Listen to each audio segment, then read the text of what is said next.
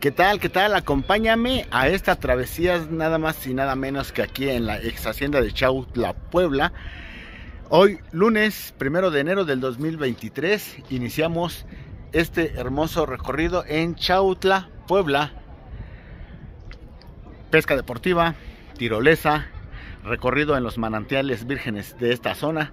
El divino entre paréntesis, el sangre sucia tu inspiración.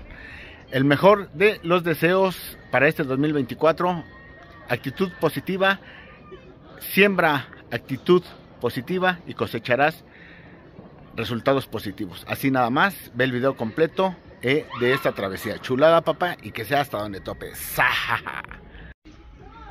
Chautla, Puebla. Y pues ven, acompáñame, vamos a recorrer brevemente porque cierran a las 6 el día de hoy, lunes primero de enero del 2024 una travesía fugaz y rápida. Tirolesa, lanchas, punto de cobro, asadores, renta de cabañas, pesca, zona de acampar y vamos a ver las actividades que hay.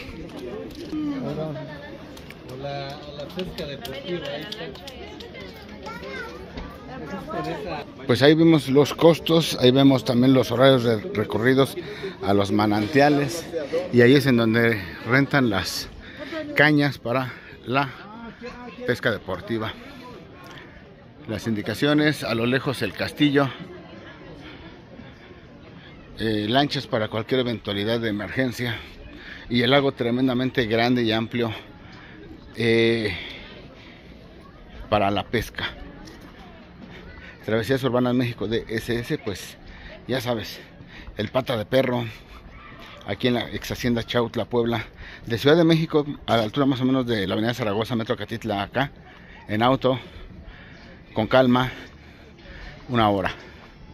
Ya rápido, pues 50 minutos, si no te encuentras tráfico en la caseta de San Marcos. Ahí lo lejos vemos gente ya pescando. Principal especie es la trucha.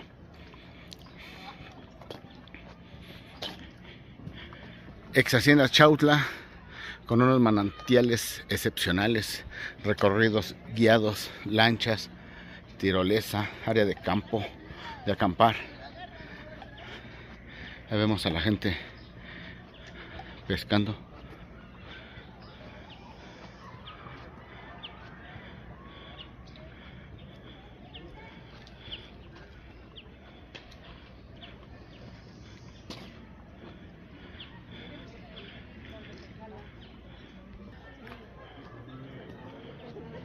Ideal para que vengas a pescar en la orilla de este lago de ex hacienda Chautla, Tirolesa.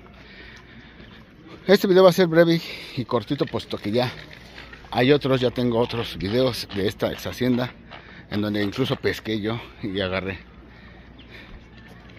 los patitos y así en toda la orilla hay gente pescando muy bonito, ¿eh? un área de esparcimiento. Y los costos cuestan 45 pesos adultos. Niños eh, más barato. Y te hacen descuentos de INAPAN, de estudiantes. Entonces es muy accesible el costo.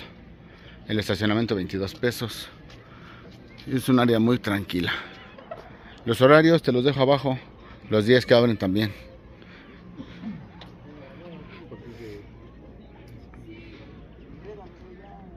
Mames, pues está hasta aquí el.